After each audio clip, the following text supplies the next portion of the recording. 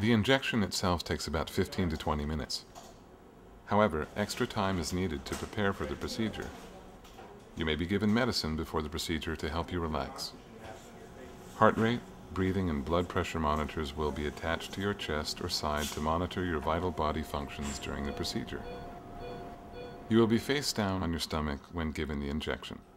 Your back is cleaned with an antiseptic solution and is covered with sterile towels. To assure accuracy of needle placement, live X-ray imaging is used during the procedure. A contrast dye may also be injected into your back in order to verify position and accuracy. Depending upon the specifics of your back or leg pain, a local anesthetic, saline, cortisone for reducing inflammation, as well as a special enzyme to help prevent scarring are then injected into the epidural space, the facet joints, and or the nerve roots.